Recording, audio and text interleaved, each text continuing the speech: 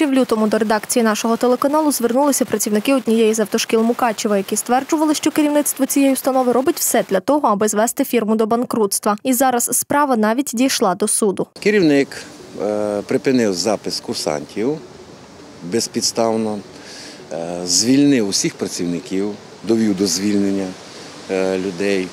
На сьогоднішній момент готує документи на ліквідацію. Чоловік стверджує, що охочих навчатися у цій автошколі вистачає, але діючий керівник у цьому не зацікавлений. Керівник припинив запис курсантів. Навіть був, випадок у лютому місяці, що він останню укомплектовану групу відвів у е, другий навчальний заклад, сам керівник. За відсутністю коштів Колишній інструктор підозрює, що хтось зацікавлений у продажі приміщення, в якому знаходиться автошкола. До речі, майно і техніка являються спортехклуба, а приміщення, які знаходяться в центрі міста, це наш і плюс був, щоб для громадян було е, удобно, бо і місце розташування автобусних зупинок, тобто удобно було людям добиратися. Ну, це наша і біда. Мета доведення фірми до банкрутства, мета продажа приміщень. Також керівник створив усі умови для того, аби на фірмі не залишилось працівників. На паперах чітко вказано, що зараз тут працює одна людина, і це Віталій Грицу, директор закладу.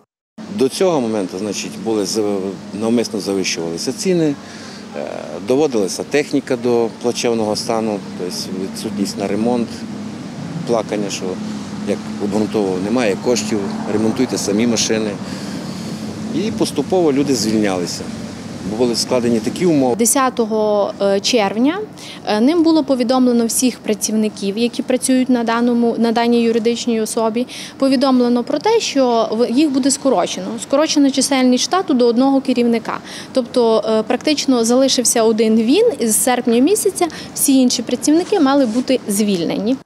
Нагадаємо, рівно півроку тому в ефірі М-студіо ми вже розповідали про проблему автошколи, і тоді директор пояснював свою позицію, що ціна за навчання зумовлена підвищенням мінімальної заробітної плати, зменшення охочих вчитися і збільшенням конкурентів на ринку. Також чоловік запевнив, що шукає альтернативу автодрому, де була б дешевша оренда землі. Дивіться, ціна навчання у нас 5800, вже більше року.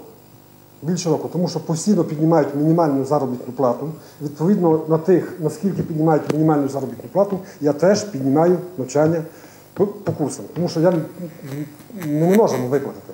І того у нас земля з'їдає за місяць е, більше 30 тисяч гривень. Щодо умов навчання, директор каже, що має на меті зробити ремонт навчальних кабінетів, але категорично не вистачає фінансів. Податки з'їдають все. 20% ПДВ плюс земля. Маю таку нагоду, хочу звернутися до Андрія е, Вікторовича Балоги. Може, якась допомога буде маленька, щоб ми могли зробити класи. Тому що ті класи вони е, стали негодні до навчання після ремонту. У нас був у нас на цьому зданні був ремонт. І після того, коли міняли кришу, і то, то все затопило, то потекло стінами, потекло, і то е, класи якби стали негодні. Ми і самі вирішили з'ясувати, чи приватна це фірма чи ні, і ось яку інформацію нам вдалося отримати з відкритих джерел. Власниками підприємства не є громада міста. Ними є та ж міськрайонна організація 25% власності та фізична особа Грицу Ксенія Габарівна 75%. У власності є одне приміщення за адресою площа Миру, будинок 30, дріб 2. Вони його викупили у міста 31 жовтня 2001 року. Таким чином, власник підприємства може на власний розсуд вирішувати долю майна. Швидше за все, Грицу Ксенія та директор є родичами, і за наявності у них 75% у підприємстві зможуть вчиняти самостійно усі значимі дії. 75% було керівника Черепані Гавриловича. Після його смерті по спадковій справі перейшло моїй жінці.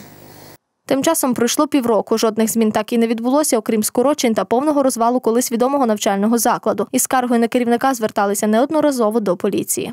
Ми звернулися з відповідною заявою від імені Черепаня Романа Гавриловича до Мукачівського відділення поліції. Це, наскільки я пам'ятаю, відбувалося у квітні місяці е, 2020 року.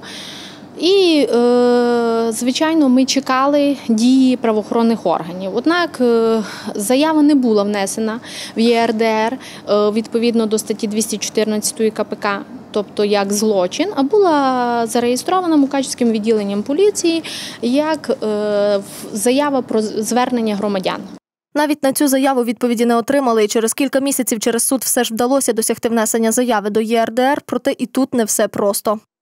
За статтею 356 Кримінального кодексу України, яка з 1 липня 2020 року не вважається злочином, а є проступком, тобто е, суспільно небезпечне діяння, яке не є настільки е, каране, як злочин. Подали заяву до територіального управління ДБР у Львові.